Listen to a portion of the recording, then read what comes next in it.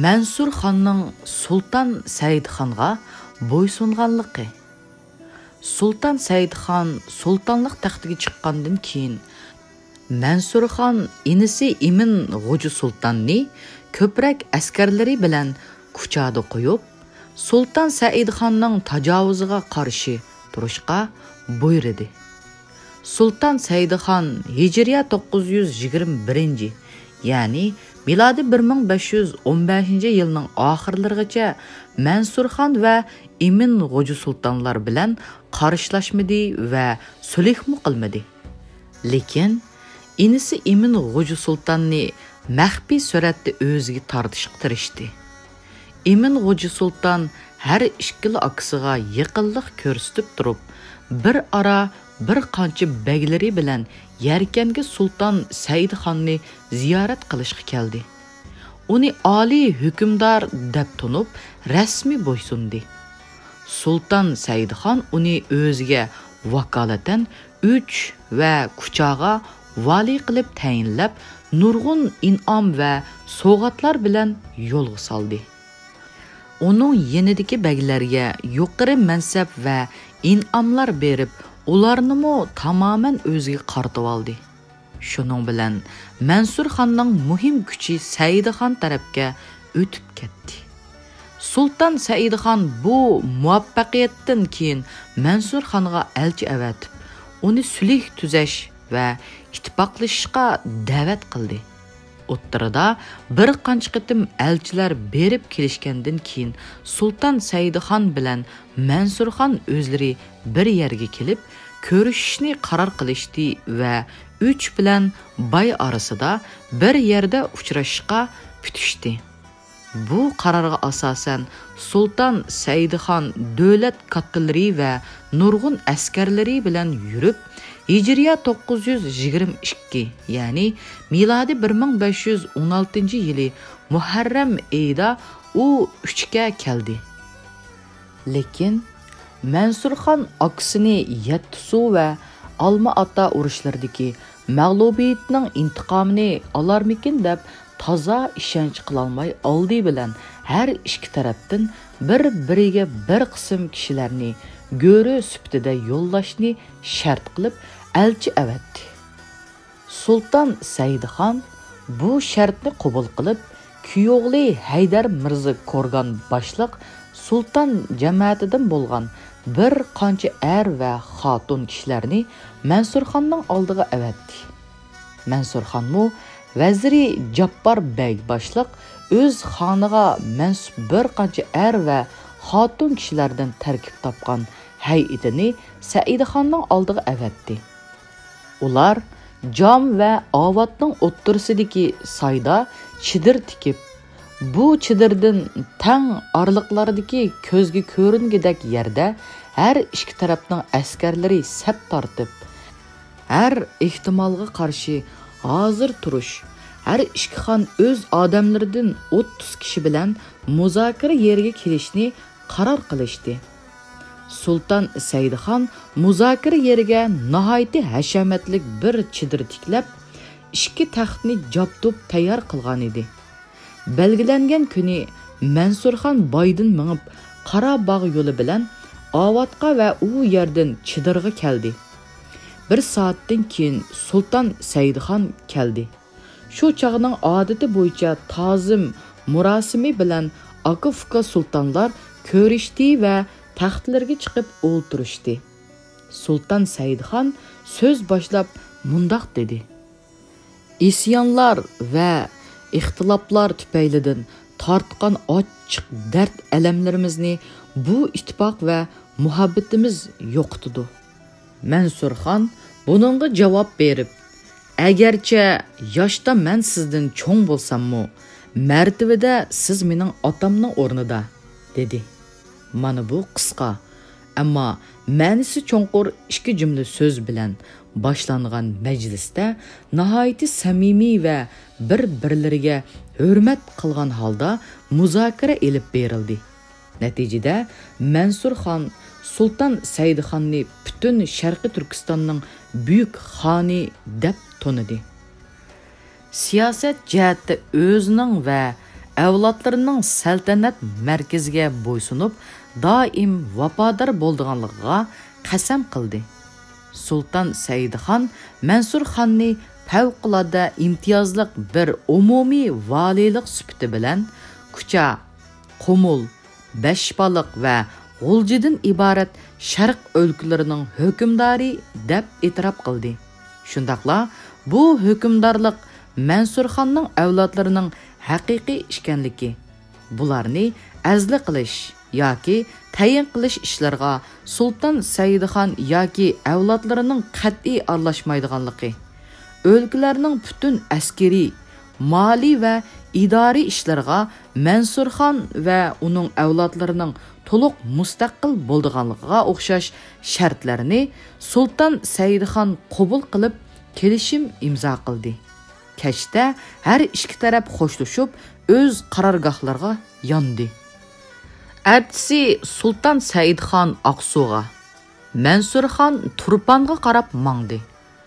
Шұның білән мәнсүр хан хақиқатта мұстақыл әмма сөзіде сұлтан сәйід ханға тәвә сүпті білән ғәріпте памыр, пәрғаны чигірсі вә чу дәриясы шималда көкче діңізі, яғни балқаш көлі вә тарду тай тағлары mo'ng'uliston va chin chegarasi orasidagi o'lkalar Sultan saidxon hokimiyati ostidagi bir mamlakat holiga keldi.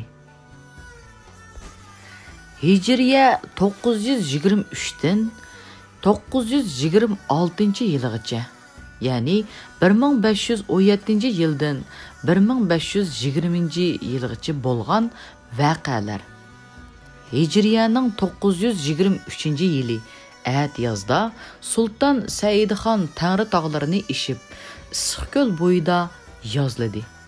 Əgər özbeklərinin gücü aciz bolsa, Pərğanəyə yürüş qilishni niyyət qilib, nurg'un əskər bilan şimalğa keldi. Sıxgöl ətrafında ov ovlab, sayohat qilib yurib, Pərğanə çigrisiga bardı və özbeklərinin vəziyyətindən xəbərdar boldi. O'zbeklarning har ehtimolga qarshi Pərğaniga ko'p miqdorda askar to'plaganligi ma'lum bo'ldi. Shuning uchun Pərğaniga hujum qilmadi. ba'zi islohot xizmatlarini ko'zdan kechirib kuzda yarkentga qaytdi hijriya 924 ya'ni milodiy 1518 yili at yozda Sultan saidxon xotanga keldi u chog'da charchan chorqiliq va terim ya'ni torim aholisi bo'lgan seriq uyg'urlar bugungi avlodlarga o'xshash yerim ko'chman va moldor bir xalq bo'lib texcha islom dinini qabul qilmay budda diniga e'tiqod qiladi ular xonliq markazigami bo'ysunmadi. Sulton Saidxon xotanga kelib bir qism askarlarini bu seriq uyg'urlarni islomga kirgizish uchun g'azat qilishga charchanga yo'lladi. Bu askarlar yetib borg'icha seriq uyg'urlar mollarini ilib uzoq tog' jangallarga qochib ketdi. Askarlar seriq uyg'urlarni topolmay bir oz o'lja ilib qaytib keldi.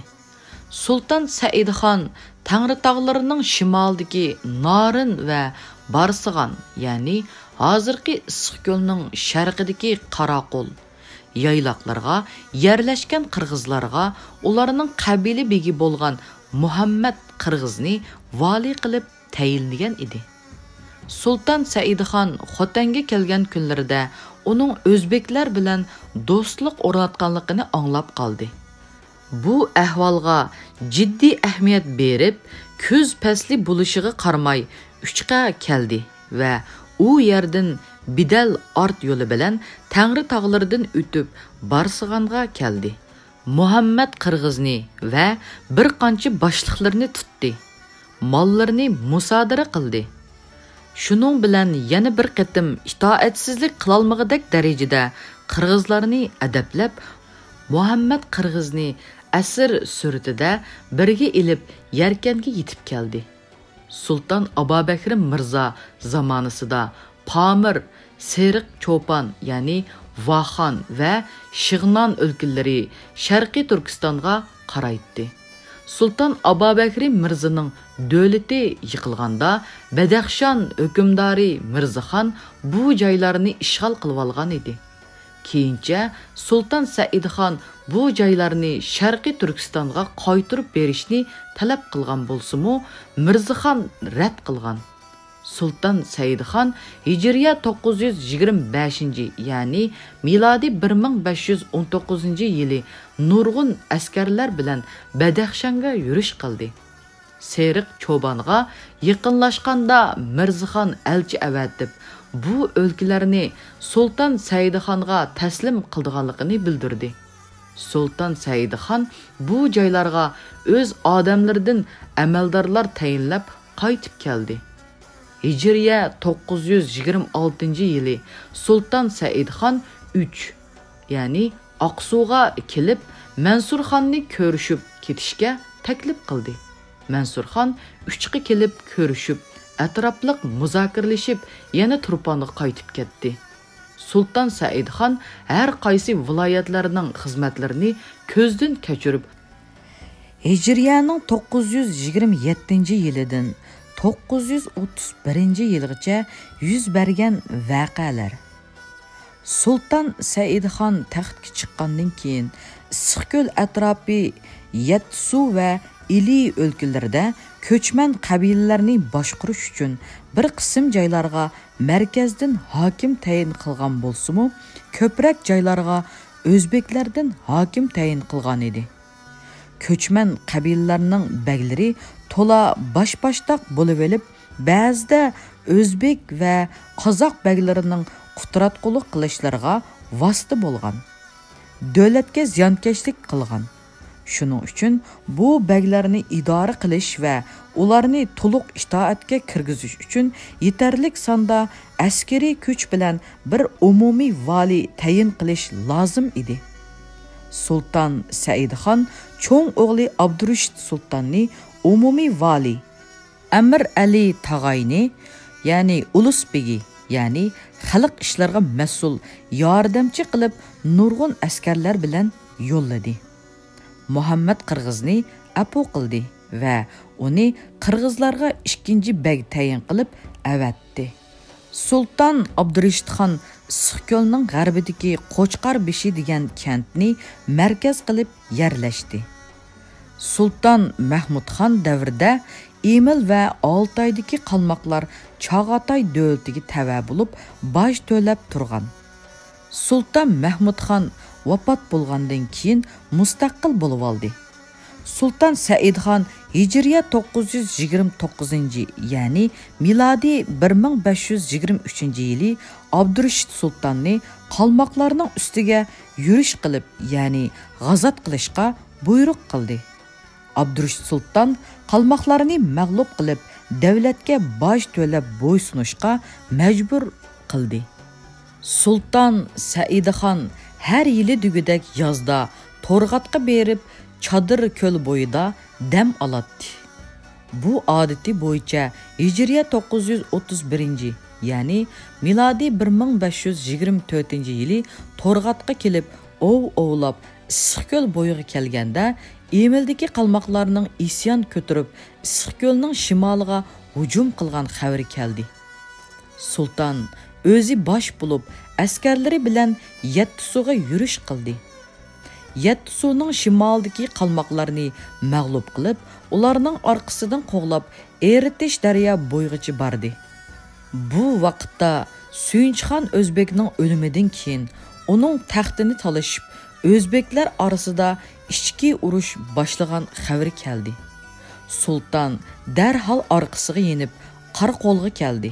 Va yarkanki o'rinbosari amir kabir sid muhammad mirzaga butun kuchini ilib o'shqa hujum qilishga buyruq qildi o'zi qo'chqar beshig'i kelib u yerdagi askarlarni to'plab o'z kantga hujum qildi o'z kantni ishg'ol qilib o'shq keldi va Sid Muhammad mirzi bilan birlashdi. O'sh va Anjan o'ttirsidagi Madu qalasiga ilgirlab bordi va qalani oldi.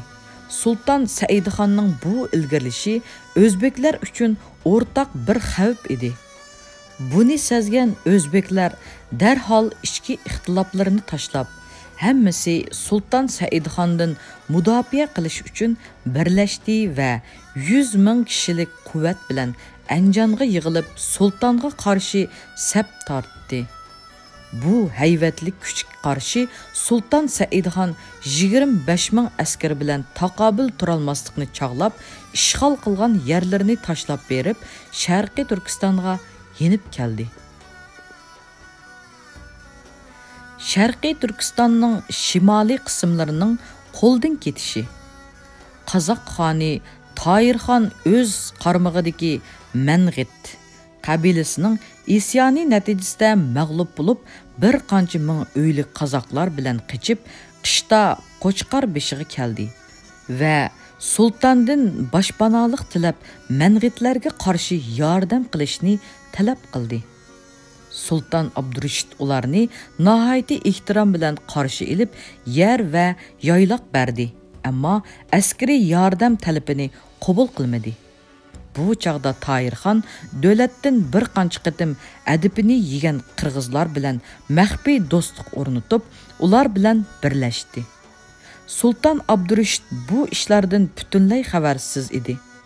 hijriya 933 ya'ni milodiy 1526 yili toyirxon və qırğızlar birləşib Qoşqar beshig'a tuyuqsiz hujum qilib abdurashid sultonni eg'ir holda мәғлұп қылды Султан Абдурушет женіні аран құтқызып, арт пешіға қечіп келіп алды. Бұны аңлап, Султан Сәйді хан дәрхал еркенттің үріш қылып, арты пешіға кәлді. Султанның бұ әркетін қәвер тапқан Тайыр хан вә қырғызлар бірлікті қочқар бешіні ташлап қечіп, елінің шәрік тәріпідегі күнгес яйлақларға кәлді. Султан бұлардың арқысыдың күнгәске әскәр yollab Тайыр ханны вә қырғызларны егір халда мәғліп қылып қоғлады. 100 мыңдың ұшқырақ чарва малны олжы илеп қайтты. Кейінше Султан Сәйдхан Или вә Сықкөл әтрапыдекі бүтін қырғызларны арт бешіда бір ерге жығып ерләштірді. Saidxon davlat qurgandan tortib shimoldagi bu o'lkalarda xeyli ko'p miqdorda askar turg'izishga majbur edi chunki bu joylardagi ko'chman qabilalarni qudratli bir askariy kuch bo'lmasa boshqurish mumkin emasdi uning ustiga bu yerlar shimolda qozoq va g'arbda o'zbek xonlaridan iborat raqiblari bilan chigirdash bo'lib askariy quvvatning eng muhim qismini bu joylarda turg'izish lozim edi bu joylarning ko'p qismida qadimki shaharlarovat ез kentlar terilg'u етізлері butunlay xarob bo'lib nurg'un yerlari qumliq cho'lga aylanib ketgan edi qolgan bir qism joylar ko'chman va ұрышқа qabilalarning яйлақлары bo'lganligi uchun бұ жайлардың дөләт қазинесіге ечқандақ кірім яки башқы пайды кірмейді. Бұ жайларда тұруштық әскерлерінің бүтін тәмінаты алты шәхірдің кәлтүрләтті. Мана әмді бұл ерлерді ки халықның көпчілігіні тәшкіл қылған қазақ вә қырғызлар бірлішіп, дөләтнің әң қатарлық дүшмәнлері болып қалған еді. Султан Сәйдхан 11 yillik tajribasiga asosan davlatga foydasi yo'q balki iqtisodiy jihatda ziyni ko'p bo'lgan bu joylarni tashlab etish qaroriga keldi va butun harbiy va ma'muriy odamlarni ilib Yarkandga yetib keldi. Shu kundan boshlab sharqiy turkistonning muhim bir parchasi bo'lgan issiqko'l atrofi va Yetsu rayoni sharqiy turkiston davlatidan ajrab ketdi. Uningdan keyin тайыр хан артыбешігі келіп у ярды қалған қырғызларыны башлап күнгәске кетті. Мана бұ шымал өлкөлөрүнүн шарқи Түркістандың айрылып кетиш вакасыдыр шұндақла бұл вакыттан башлап қазақ ва қырғызлар мұқым халда шымалға ярлашты Қырғызларының түркістан яйлақларға аста-аста ейіліп памыр вә серік қолғыч келішлері болса кейінгі вақытларда башланған. Belaruston va badaxshonga yurish. Hozirgi kanjut galgit va chatral dalisi u chog'da belaruston deb ataladi. Bu joylardagi xalqlarning hammasi butparas edi. Sulton saidxon belarustonga hijriya 934 ya'ni milodiy 1527 yili o'g'li abdurashid Sultan va kuyovli haydar Mirza ko'rgan boshlig'ida nurg'un askar yo'llab ya'ni g'azat yurish boshladi. Bular 5-6 oy belaruston dalalarida g'azat ilib bordi va 50 ming kishini asir ilib seriq cho'bon ya'ni vahan yo'li bilan Yarkandga qaytdi. Bu asirlarning hammasi qul qilinib xalqqa setildi. Бәдәқшан хөкімдары ұзындың бері өзбеклерінің тажауызыдың сақылныш үшін Бабыр Шахның хамиллығыда яшымақты еді. Шының үшін Бабыр Шах Бәдәхшанда енісі Насыр Мірзінің командалығыда, кейінше Корган ханыданының бірсінің командалығыда нұрғын әскер тұрғызған еді. Hijriya 934-yili Babur Şah bu askarlarni Ketib, Badaxshonda hech qanday askariy kuch qolmadi. Babur Shahning himoyasidan quruq qolgan Mirzaxon Sulton Said xondan homiy bo'lishni tiladi. Bu fursatni kutib turgan Sulton Said xon Yarkandda o'g'li Abdurishid sultonni o'rnida qo'yib, o'zi kuchlik bir askariy quvvat bilan Badaxshonga yurish qildi. Султан Саидханның Серік Чопанға етіп келгенлігін аңлыған Бабыр Ша оғлы Хиндал Мирзини бәдәқшанны қоғдашқа әвәтті. Бұл қәвәріні аңлап Султан Саидхан келгенлігіге пүшайман қылып қалды. Лекен қыш кіріп қылғалықтың арқысыға қайтыш мүмкін емес еді. Серік Чобан нағайты құрық вә кичик бір ер болғалық үшін о ерді қышлап келішмі тәс еді. Шының үшін Султан Сәидхан қышны Бадахшанда чықырып, әтияз бұлышы білән Шәрқи Түркістанға қайтып келдіғанлықыны бүлдіріп Индал Мұрзыға әлчі әвәтті. Лекен Индал Мұрза бұ тәләпіне бір хейлі дәп гуман қылып, құбыл қылмеді. Бұныңғы қарамай Султан Саидхан Бадахшанға барды.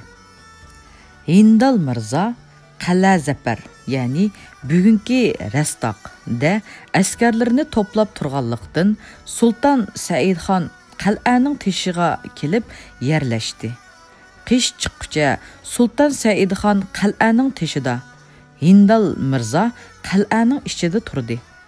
әртиязда сұлтан сәйідхан бабыр шахның ғузырға бір әлчі әвәтіп бұ әрекетінің бір дүшмәлік әмәсілікіні бүлдіріп өзірі баян қылды вә өзі еркентке қайтты.